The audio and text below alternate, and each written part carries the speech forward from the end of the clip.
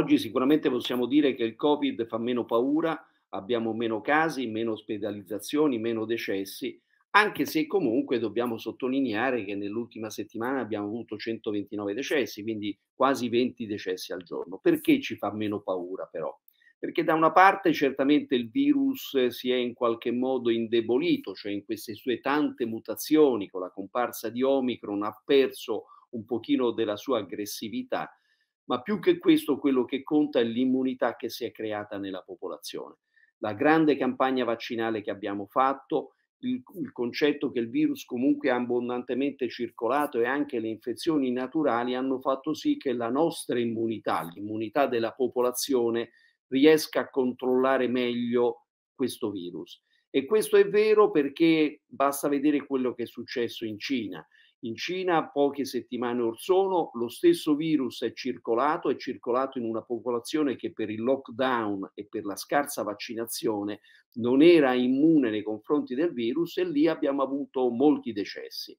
Quindi certamente oggi possiamo stare più tranquilli perché il virus ha perso la sua patogenicità, ma il grande lavoro che abbiamo fatto con la vaccinazione che ha determinato la situazione che stiamo vivendo oggi con maggiore serenità. Quali sono le, le categorie più fragili che devono essere protette dalla vaccinazione? E questo ovviamente sono quelle categorie che hanno pagato il maggior scotto per colpa di questa malattia, dove abbiamo registrato il maggior numero dei decessi.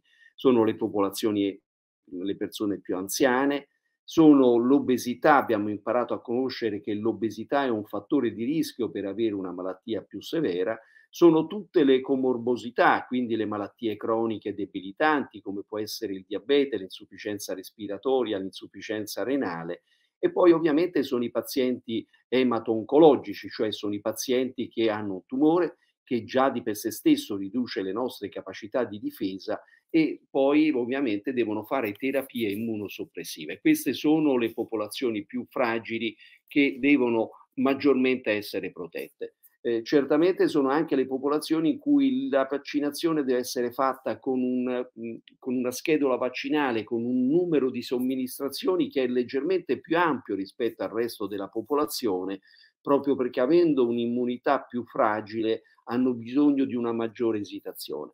Certo, oggi stiamo vivendo un po' un periodo che definiamo di esitazione alla vaccinazione, cioè le persone sono evidentemente, giustamente, comprensibilmente stanche del vaccino, però dobbiamo ricordare il grande vantaggio che il vaccino ci ha dato. Oggi diciamo che in Italia probabilmente 150.000 persone non sono decedute grazie al vaccino, quindi dobbiamo convincere le persone a tornarsi a vaccinare.